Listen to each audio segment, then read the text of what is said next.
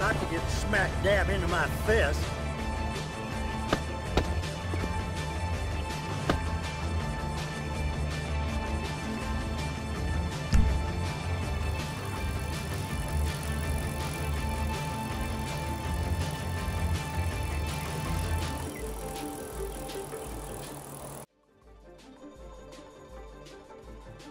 I'll take these.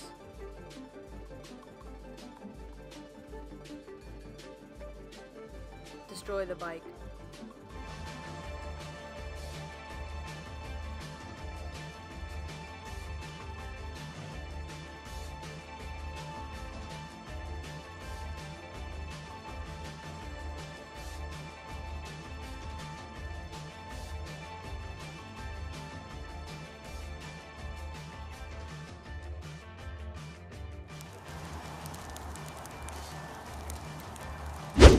Hey guys, I hope you enjoyed that video, and if you did, make sure to leave a like, comment, and subscribe.